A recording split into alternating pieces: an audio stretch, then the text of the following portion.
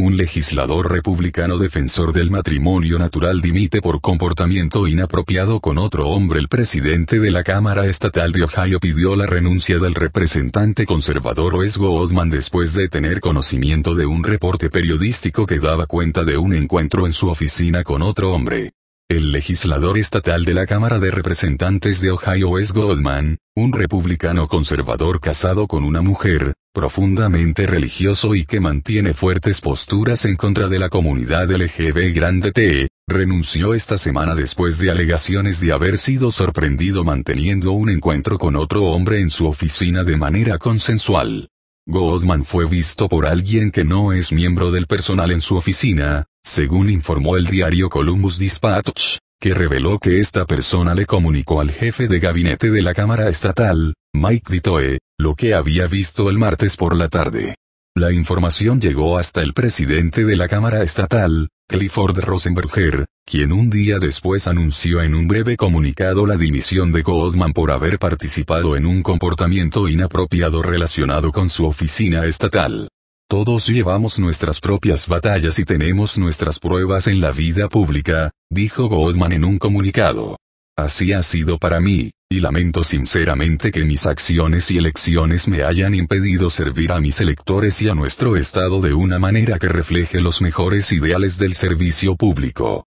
Aquellos a quienes he decepcionado, lo siento, añadió.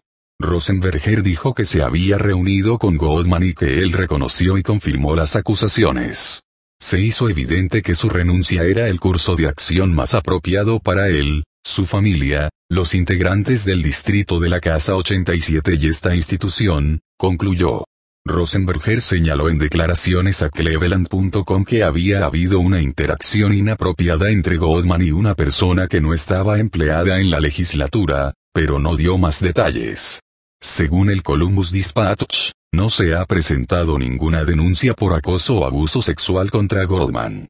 La dimisión de Goldman y el supuesto encuentro sexual ha causado una gran sorpresa ya que el legislador ha sido un defensor acérrimo de su postura de que el matrimonio natural es entre un hombre y una mujer.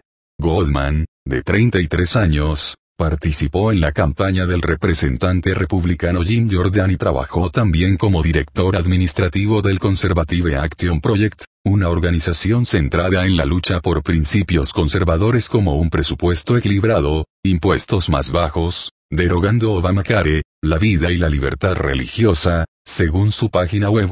En su perfil de Twitter cuyos mensajes están protegidos en vista privada se definía como cristiano.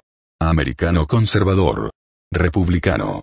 Marido de arroba BT 1027 pulgadas, quien de momento no ha borrado su cuenta. En su página web, que ya fue borrada, aparecía con fotos de su esposa e hijos y escribía sobre defender y proteger los valores familiares. Merece la pena luchar y proteger los ideales un padre y una madre cariñosos, un matrimonio natural comprometido y una comunidad solidaria, escribía.